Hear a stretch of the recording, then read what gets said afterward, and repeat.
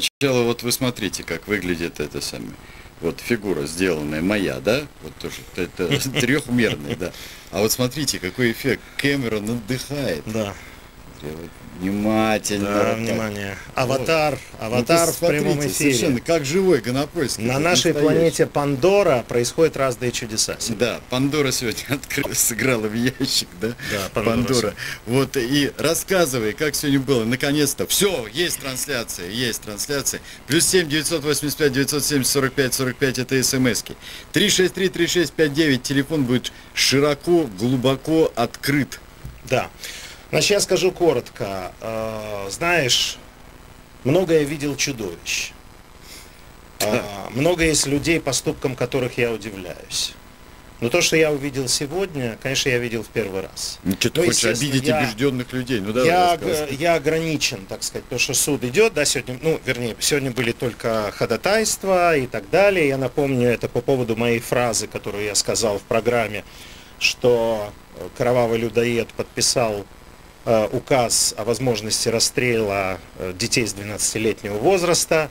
Радиостанция, естественно, потому что мы не говорим фуфло, радиостанция раздобыла документы, и эти документы не держала в трусах, а повесила их на сайт, да, чтобы смотрели. Ну вот, казалось, вы увидели, да, Значит, как я сегодня сказал вот этим господам адвокатам, одному, одним из них, да, одному из них, я сказал, вы в церковь ходите?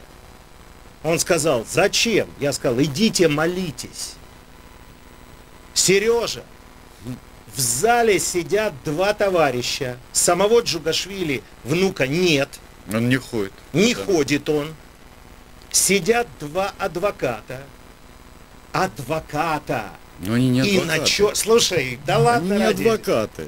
Еще раз. Сидят адвокаты и на черное говорят белое. Причем это же простой процесс, документальный.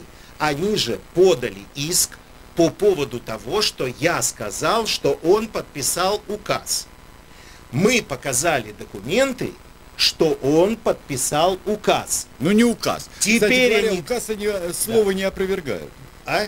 Слово указ они не опровергают. Мне все равно, чего они опровергают. Послушай меня. Все открыто. Все можно увидеть все опубликовано. Президент э, Медведев сказал, уже политическую оценку сделал. Э, Путин поехал в Катынь и даже не называя фамилии Сталина, потому что, по всей видимости, логично презирает это Он назвал потом. Ну, назвал потом. Назвал потом. Осудил этот режим. Стоят два человека и говорят, этого не было. Причем, я тебе скажу уровень аргументов. Знаешь, вот тошноту просто вызывает. Вот действительно, ребята, может быть, вам пойти помолиться? Знаешь, какие аргументы? Ну. Ну, аргументы обычные. Значит, документы фальшивые, которые, да. это из, госархи, из госархива то, что мы представляем. Ну да, мало Это ли, фальшивые документы. Госархив это фальшивые, да? Хохма была невероятна. Венедиктов, э, они сказали, что мемориал это западная организация, презрительно сказали о мемориале и так далее. Венедиктов принес регистрацию мемориала как российской общественной организации. Слышишь? Угу. А и более того, мемориал просто предоставил данные, которые были сделаны межведомственной комиссией с участием генералов ФСБ и так далее, и так далее. Я не буду все расшифровывать, так сказать, все на сайте есть. Они говорят, это фальшивка. То есть генералы ФСБ фальшивка, межведомственная комиссия фальшивка. Шансов пойми, фальшивка. Пойми, да. то, что они проиграют, и то, что это и нечеловеческая позиция. То есть, знаешь, что самое главное? Вот послушай mm-hmm. меня. Я понимаю, что можно защищать э, убийцу, у которого есть оправдание. Ну, какое-то. Понимаешь, вот говорят, нельзя простить, но можно понять. Это какого же убийцу можно Какого-нибудь, мне Какого? все равно, да, который руководствуется какие-то, какими-то идейными соображениями. Но Полпота и Янг Самрина очень трудно Янг понять. Сари, да. Ну, да, я да. в другой. Не имеет значения. Я не понимаю, чего защищ... что защищают эти люди. Я не понимаю, Тем более, что они уже прочитали на нашем сайте те самые документы, которые подтверждают, да, Сталин лично не расстреливал, как они и могут Гитлер никого не рассматривать расстреливал. в тех же самых, они тоже так же могут рассматривать, как и мы. Даже не на сайте, мало ли на Да сайте. мне плевать на это. Я тебе говорю, что они видели, безусловно, эти документы. Они идут к процессу, но им не нужно удостовериться в том, А чего подписывал пиар, Сережа, пиар, Пиар дешевый, чего? вонючий пиар себя. Ну себя, вот просто. Мы вошли в процесс. Мы защищаемся. Мы выиграем или проиграем. Ты помнишь, как это украли, э, чайные ложки не украли, но, так сказать, осадок остался. Или что там, как эта фраза правильно говорится. Понимаешь, в чем дело?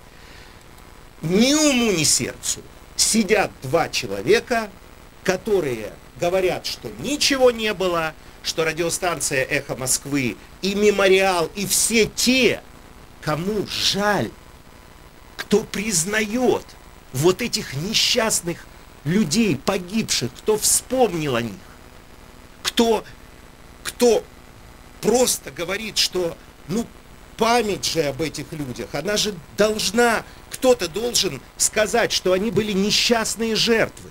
И перед нами стоят два человека, которые говорят, не было, сталинофобская и так далее. Я такого не видел в жизни. Вот почему я сказал, иди и молись. Ну, вот да скажи- замаливай грехи. Слушай, скажи мне, мы подали на эксгумацию. Зачем нам это надо? Что мы это самое, если он не внук Сталина, мы все, до свидания. Не от того приняли. Как? Нет, если даже, если даже он не внук Сталина, э, а как? Ну просто мы хотим понимать, с кем мы судимся. Кроме того, я хочу тебе сказать, что я горячо поддержал идею Алексея, и вот почему, и я объяснил это судье. Ты знаешь, что такое интернет. Значит, мы не, не понимаем, это все серьезно или... То есть я понимаю, что судья очень серьезен а, мы ходим, ищем документы.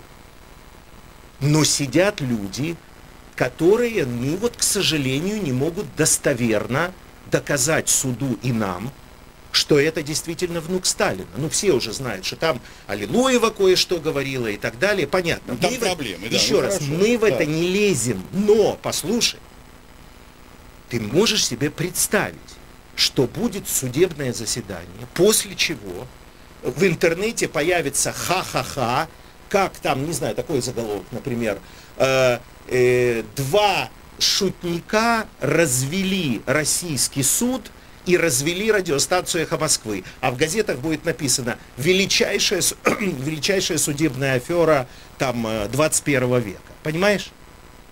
Ну, ну, извини меня, мы слишком серьезно к этому относимся. Поэтому э, вполне логично, да ради бога, ну, э, конечно, я понимаю, как-то это сложно, как это Сталина Великого э, оттуда вы А вот здесь, выковыривать. здесь это- всего, пол- полно живых родственников. Что? Полно живых доказанных родственников. Почему нужно обязательно Сталина выкапывать? Нам все равно. Мы предложили как вариант. Мы не ходим, не ищем родственников. Мы зна... Позиция простая. Мы знаем, что иск подал внук. Мы знаем, что говорят об этом внуке. Мы к этому внуку с самым большим уважением. Не проблема. Внук защищает честь деда. Это, но надо понять, что это дед его, а он внук деда. Я не буду сейчас пояснять нюансы, которые не убеждают, но, но просто, ну, хотелось бы вот так вот все-таки понять, э, что это за человек. Понимаешь? А вот Саша пишет, Матвей, давайте мы помолимся за этих дураков. Их жалко. Тебе их жалко? Нет, мне их не жалко, хватит! Хватит жалко! Хватит жалко! Когда вагонами возили, целые нации вывозили. Кого жалеть? Время жалости закончилось. Все, никакой жалости не будет. Будет процесс, будут представлены доказательства, некого жалеть. Людей, которым не жалко, невинно уничтоженных, жалости к ним никакой нет. Все, слово толерантность к людоедам не подходит. Съели кука, понимаешь? Матвей Гонопольский. И вы можете задавать вопросы плюс 7 985 970 45 45. И телефон у нас работает. Пожалуйста, звоните ради бога 363 3659, если вы звоните не из Москвы, а из другого города, даже из другой страны. А, пожалуйста, набирайте все соответствующие коды перед номером 363-3659. Мы продолжаем перехват. Пока, извини, да, да. пока они э, набирают там чего-то. Да уже набрали. Ну хорошо. Да Одну уже важную вещь тебе скажу. Ну скажи. Э, вот этот неизвестный Джугашвили, да, который не является на суд, тем не менее, так сказать, подал иск э, якобы и так далее, и так далее. Я хочу тебе сказать, что насколько я презираю этих двух адвокатов, видишь, я намеренно не называю их фамилии, да, потому что это мое мнение. Я просто, я имею право об этом сказать, потому что защищать неправедное, отстаивать убийцу, это не, невозможно. Нельзя жить в стране и делать вид, что ничего этого не было. Это только они могут. Их интересы, пусть они там э, занимаются вот своим, вот ради чего они это делают. Я хочу сказать другое. Тем не менее, я невероятно признателен вот этому человеку, похожего на, на внука Сталина. Знаешь за что? За что? Если бы он не подал этот иск, мы никогда бы не затребовали тех документов секретных, которые мы затребовали. И эти чудовищные подписи, значит, э, товарища Сталина, главного там учителя, или как там называли его, да, вот это вот чудовище, понимаешь, вот это вот не было бы ничего известно, ничего известно. И если вначале я-то знал об этом, если вначале просто я сказал в передаче, угу. что Сталин это подписывал, то теперь документы на сайте висят, где видно, как он подписывал, его две подписи и его коррективы, и то, что он говорил Ромену Ролану, все теперь известно, понимаешь? И то, как сегодня, ты знаешь, слушатели сегодня, что? слушатели сегодня э, на сайте, ну. увидели посетители сайта, говорят, да чего вы мучаетесь, там написано было в комментариях. В записке Вышинского, знаешь, который он подает, записки э, для Политбюро, разъяснение судам и трибуналам. Ты видел, да? Ну, видел Прокурора. Я, ну, Но там, да. смотри, согласно ну вашему, с большой буквы, указанию. Да. Она правильно? Нет, секретарю нет, Сталину. не подходит. Послушай меня. Вот этим пользуются адвокаты. А что? Это сказал Вышинский, а где указание? Мы нашли главные документы. Документы с подписью людоеда, где он санкционирует, он сам не убивал, но он не возражает, подписывает и разъясняет. Все висит на сайте. Нечего говорить. Телефон 363-3659. Алло, добрый э, вечер. Наденька наушники, там Да. лучше будет слышно. Алло. Добрый вечер. Здрасте, как вас зовут, откуда звоните? Здравствуйте, С- Сергей, Ленинградская область, город Сосновый Бор. Да. Вопрос А, на Напольскому. я продолжение этой темы, там, о Сталине, о преступлениях, вот э, хотел э, предложить, наверное, спро- спросить, я смс в свое время отправлял с таким предложением после гибели президента Польши и с нежеланием нашей прокуратуры засекретивать дело Кацинское.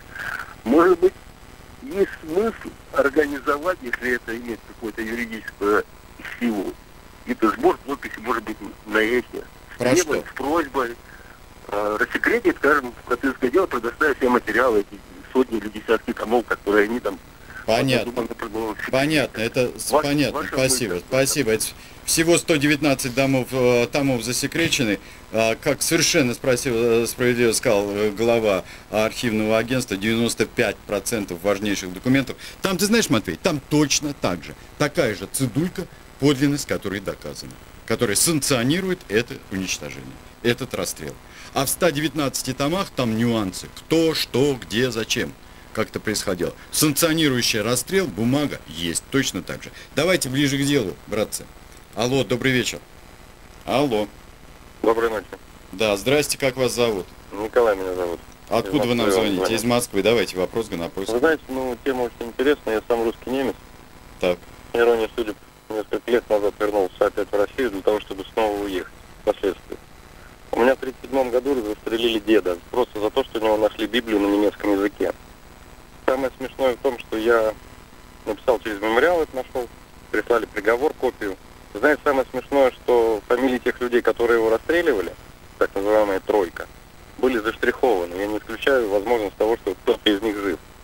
Поэтому возникает э, вами знак поддержания темы, да, первое. Второе, ну, простите, так случилось, я боялся сказать, что я немец, иронии судеб. Потому что немцев и чеченов Сталин выслал. Да. Поэтому мое отношение к этой персоне потом. крайне негативное. Мне кажется, что он находится в аду. Я человек верующий. Вот. А по поводу тех криков, которые раздаются в нашей стране, в России я имею в виду, да, на предмет того, что он великий. Если я в Германии пройду и скажу «Хай Гитлер», меня посадят. И будут правы. Потому что это был монстр. Сталин ничем не отличается от него. Поэтому мое глубокое убеждение, что наша страна до тех пор не встанет с колен и будет Византией, простите за бестактность, пока здесь чтят одного и на Красной площади лежит другой. Вот послушайте, послушайте меня, вот что я вам хочу сказать. А, у нас же страна патерналистская, да, и все предыдущие 9 лет, 10 лет, власть э, в лице господина Путина охраняла сталинский дух в стране, как будто Путин был братом Сталина. Вот как будто не вот этот таинственный Евгений Джугашвили был его братом, а как, как бы Путин Владимир Владимирович. Но я вам хочу сказать, то есть мне все равно, зачем это Путин делал. Я написал 500 комментариев, что я не понимаю, почему президент Российской Федерации, он тогда был президентом, зачем он волочит на себе и, соответственно, как президент на всем российском народе, вот эту сталинскую кровь, почему он не сбросит ее с себя. Но сейчас я вам хочу сказать, будем объективны. То есть можно сказать, да, он не так извинился, он не то сказал. Вы знаете те слова, которые сказал Путин в Катыни. Вы знаете те слова, которые сказал Медведев э, где, в, как, в каком-то городе он был, тоже он сказал там про это дело. Не слежу за этим, за этим, что цари говорят. Хочу вам сказать другое. Это важнейшая история, когда лидеры пусть по личному желанию, пусть под нажимом не знаю чего, может нам что-то Америка не продает, может быть поправку э, Джексона Веника, я имею в виду Алексея Венедиктова, значит нам э, скостят или что. Мне все равно, почему это сделали. Но то, что если бы не погиб Качинский, произошла бы историческая вещь, я думаю, что она произойдет с новым президентом, это будет сделано. Так что я, это очевидно. И, я хочу, я вам, да? и я хочу вам сказать, что теперь вы не одиноки. Потому что в Византии, о которой вы сказали, вот в этой жуткой патерналистской стране, где из-за того, что ну так тяжело живется, ну так бесправ, бесплатно, э, бесправно, так сословно, вот то, о чем сегодня говорил Сергей Пархоменко, и вдруг власть поворачивается – к осуждению сталинизма, заметьте, не персоны Сталина, а сталинизма, они о Сталине даже не говорили. Сталинизм как фактор уничтожения собственного народа. Это дорогого стоит. Матвей Гонопольский, одно здесь, не трогайте адвокатов, они делают свое дело. Значит так, я поправляю, ты заткни уши, Матвей, э, ты э, правильно выступаешь. Это не адвокаты, а это представители истца, которые этот иск инициировали, как и многое другое. Это Мухин и Жура. Вы их слышали у нас на, а, на радиостанции, Журавец все комментировал. Это представители ИСА. Это не те адвокаты, которые по профессии защищают некоего осужденного или кого-нибудь. Это представители. Это публицисты и так далее. Чем они занимаются на процессе. Я там пока не был, я могу сказать, э, я ничем не связан. А, давайте мы сейчас прервемся, а потом продолжим нашу программу «Перехват».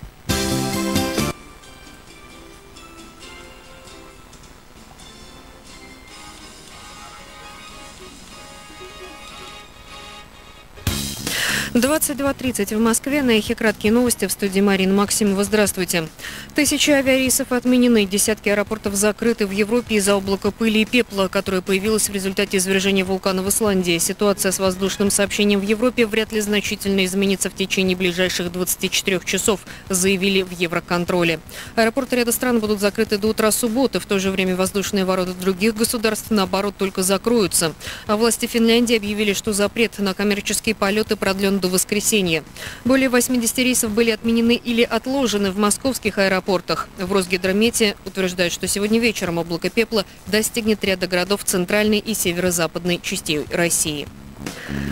Количество жертв землетрясения на западе Китая превысило 1100 человек. Спустя 72 часа после стихийного бедствия более 400 человек остаются пропавшими без вести. Почти 12 тысяч человек получили различные травмы. Состояние более тысячи раненых оценивается как тяжелое.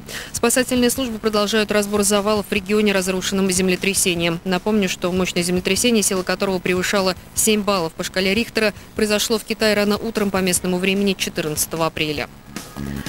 Российская Минобороны подготовит предложение по облегчению доступа иностранных компаний к разработке российского шельфа. Об этом журналистам сообщил глава ведомства Юрий Трутнев. Сейчас право разрабатывать шельф имеют только российские госкомпании с опытом работы не менее пяти лет, напоминает РИА Новости. Несколько дней назад премьер Владимир Путин поручил Федеральной антимонопольной службе представить предложение по совершенствованию законодательства об иностранных инвестициях. Глава ФАС Игорь Артемьев обещал доложить о результатах работы через две недели. В Российском центре подготовки космонавтов не работает половина авиа и автомобильной техники. Об этом журналистам рассказал глава центра Сергей Корикалев. Также, по его словам, которые приводит Интерфакс, с компьютеризацией и автоматизацией систем центра не все в порядке. Этому есть свое объяснение. Правила Минобороны запрещали создание компьютерных сетей, свободный выход в интернет, пояснил Корикалев. Другое дело тренажеры. Их состояние начальник центра оценивает как хорошее. Конечно, они требуют модернизации, потому что ракетно-космическая техника не стоит на месте, добавил добавил он. Вашингтон разрабатывает секретные инструкции по обращению с захваченными террористами. Как пишет сегодня издание «Лос-Анджелес Таймс», в новом руководстве будет сокращена возможность внесудебного содержания подозреваемых под стражей их допроса. Как пишет Лента.ру, такие меры обусловлены тем, что на сегодняшний день не существует ни одной инструкции, которая бы регулировала обращение с подозреваемыми в терроризме. Это серьезно осложняет работу американских спецслужб и правоохранительных органов. В конце выпуска о валюте. Курс доллара на завтра 29 рублей 3 копейки, евро стоит 39 рублей 27 копеек, о погоде. Завтра днем в Москве от 11 до 13 выше 0, облачно дожди. Марин Максимова, служба информации «Эхо Москвы».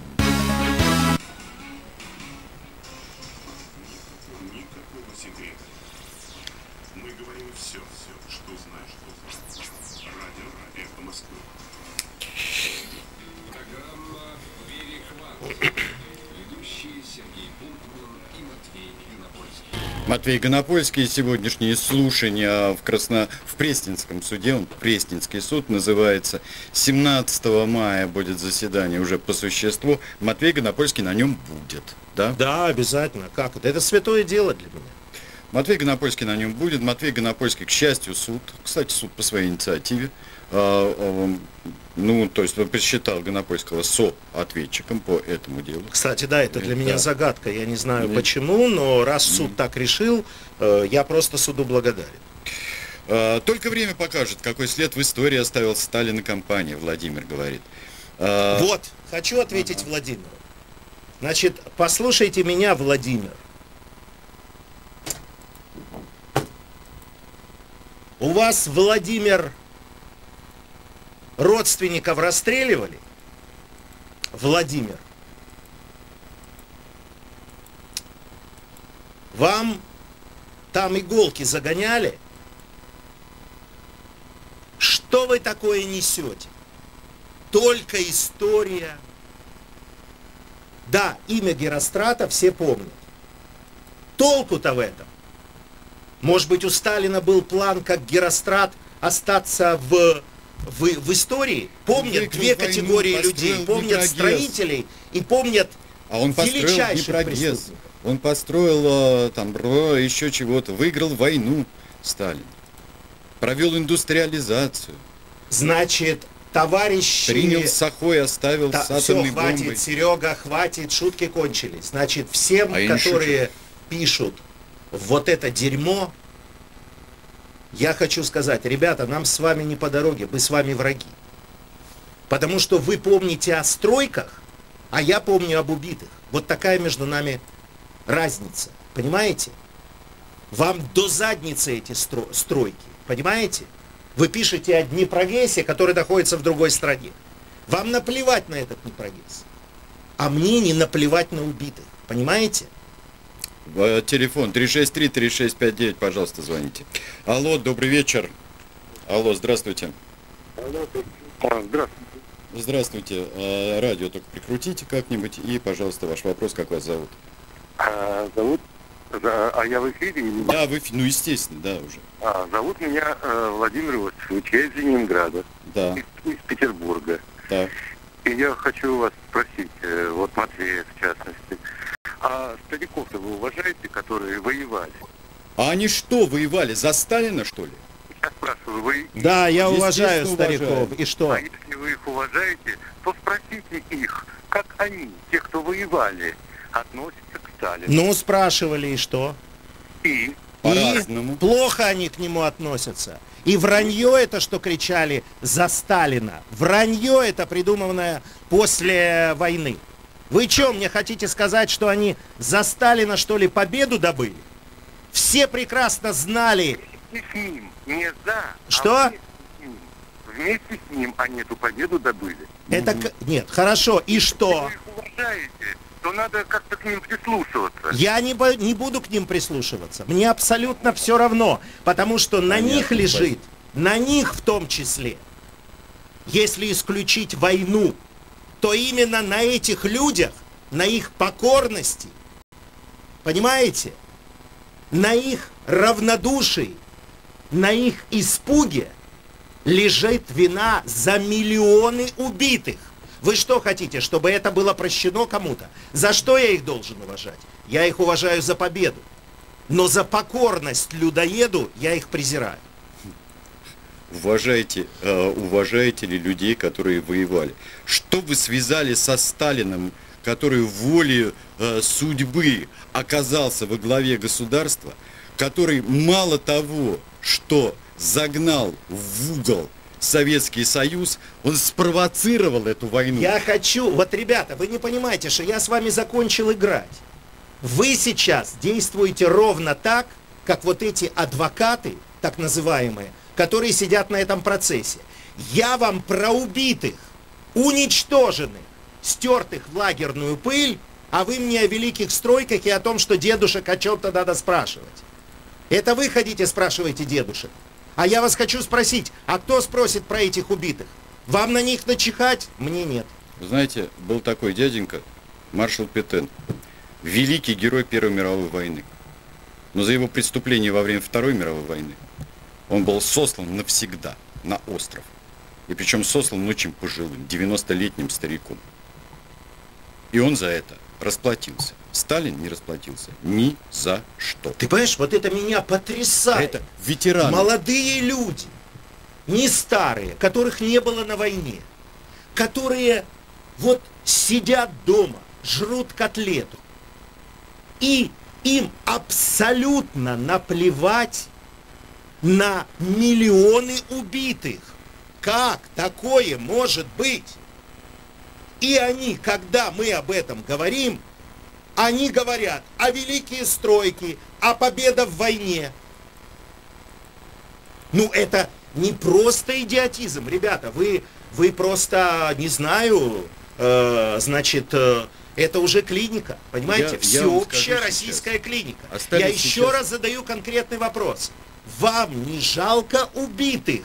Чего вы мне Днепрогессом тычете? А, вот, сукин сын, Дольф. А если у меня родственник расстреливал, что же мне стесняться? Конечно, тебе, скотине, нечего стесняться, если ты такая же скотина, как твой родственник. Я давно к нему приглядываюсь, он наконец-то убрал одну звездочку и подписался. Собака. Нет, Наконец-то я подписался. просто еще раз, я хочу, чтобы вы поняли, о чем сейчас идет разговор. Значит, Россия стоит на перепуте. Вот казалось бы, все равно, вы там хихоньки-хахоньки, про Днепрогэс, про жидов, про черножопых и так далее. Вот это вот вся ваша вот эта вот портянка, которой, на ко- которой вы живете. Я хочу вам сказать, что Россия замечательная страна. И ублюдки никогда ее не смогут утопить. Понимаете? И ни в коем случае думать, что ты будешь двигаться вперед и будешь как-то по-новому жить, и будут какие-то дома высокие, и будет какая-то работа, и зарплата, и ты будешь ездить на хорошей машине, и э, как-то не будет ничего взрываться в этой стране. И одновременно любить убийцу собственного народа, вот, понимаете, вы должны понять, что вы сдохнете. Но когда вы подыхаете, вы тащите за собой Россию.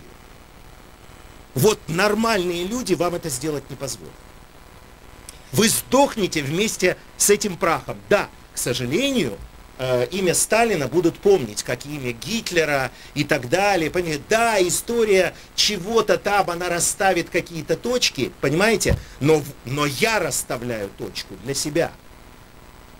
И откровенно вам ваши рожи, это тем, кто лижет вот эти кости, понимаете, сталинские.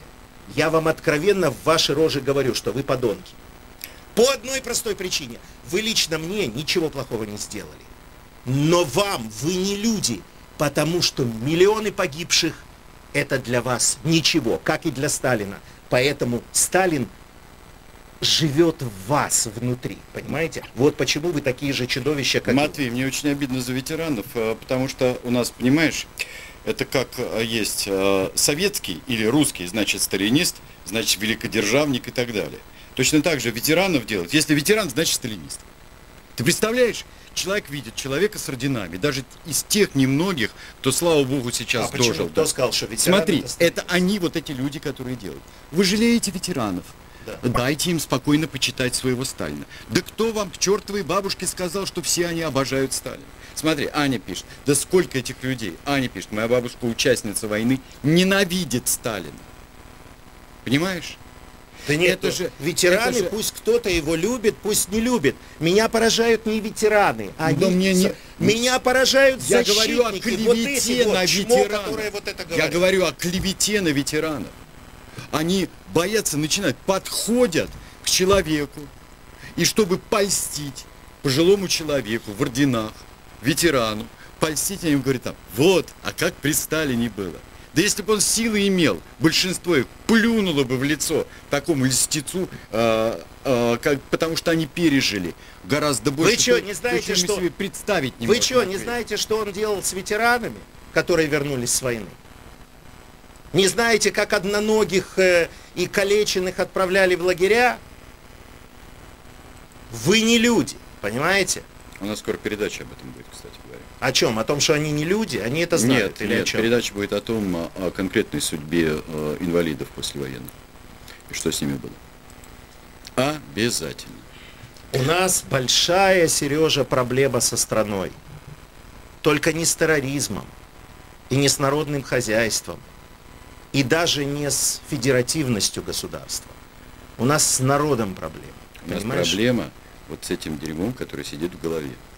А, так вот, а, здесь говорят, нам здесь пишет, а ну скакан, да поддерживаю, пишите, судитесь, хватит танцев на костях наших отцов, матерей и дедов. Так, ребята, я же предлагаю вам не быть созерцателями, понимаете? Вот у нас интернет, который я продолжаю называть пятой властью. И считаю, что пятая власть. И интернет сейчас решает больше, чем э, Путин с Медведевым к... э, ну, про Путина-то мне не жалко, а вот э, Медведева жалко. Но думаю, что он э, как бы делает сейчас такие шаги, в общем, которые для меня симпатичны. Как бы его там мои коллеги-либералы не критиковали. Вопрос не в этом. Я хочу сказать, что сделает один Гонопольский? Ничего. Что один Гунтман, один Венедиктов? Даже когда мы втопчем в, так сказать, в, в жуткое поражение с выплатой всех судебных издержек, э, вот этих так называемых адвокатов и так далее, да, вот это вот дело. Значит Все равно, так, сейчас, Отвечая про адвокатов, это защищать от чего? Они истцы, они подали на нас в суд. Вот так. Да, значит, я хочу сказать, не хотите жить в этом дерьме сталинском, в этих кровавых ошметках, которые тащит с собой вот, вот эти ничтожества, понимаете? Размышляя о Днепрогрессе, понимаешь? И попирая своих, своих отцов, матерей, друзей, которых уничтожили.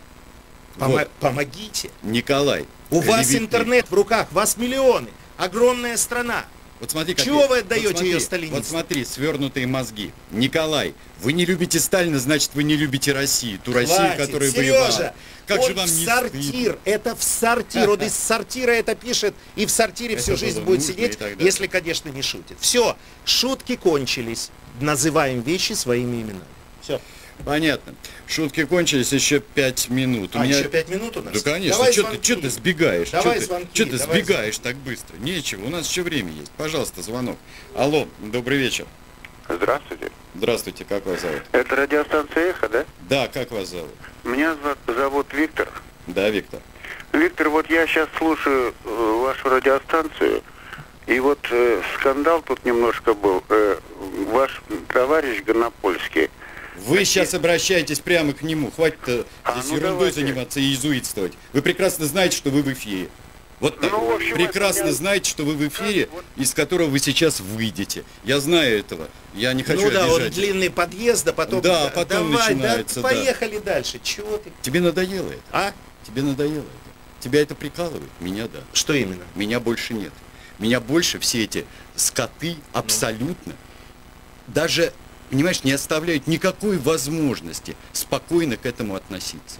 2010 год. Сережа, Облизывание сказать- этого, этой дряни. Сережа, не они определяют, какая жизнь, а мы. Я имею в виду в том, что мы говорим правду. Понимаешь, в чем дело? Они врут и стебаются, а мы говорим правду. Вот наше отличие. Они сидят дома и крутят э, пальцем э, номеронабиратель, чтобы чего-то тут сказать, а мы говорим, публикуем документы, находим их и стараемся уничтожить эту, это кровавое дерьмо. Давай еще звонок. Пусть гадости говорят. Сегодня такой праздничный день у меня. Чудесно. Да. Так, э, это я уже отсоединил почему-то. Алло, добрый вечер. Алло, здрасте. Алло. Алло, добрый вечер. Добрый вечер, как вас зовут, откуда звоните нам? Добрый вечер, это Питер, Дмитрий. Да, Дмитрий. Господа, я целиком вас поддерживаю. Я просто хочу напомнить вот тем людям, которые защищают Сталина. Вот они говорят про непрогресс. Им надо сказать вот в эфире, что вы знаете, господа, что всех, кто строил Днепрогресс, Магнитку, всех товарищ Сталин расстрелял к чертовой матери. Вот. По- по- Повторяйте им это почаще.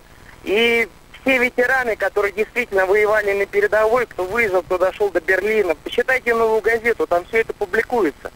Они кричали не, не за родину, за Сталина, а такую-то мать кричали.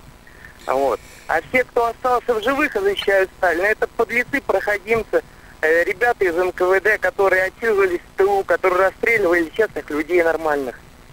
Вот, вот и все. Спасибо, все. Мы э, завершаем нашу э, эпопею.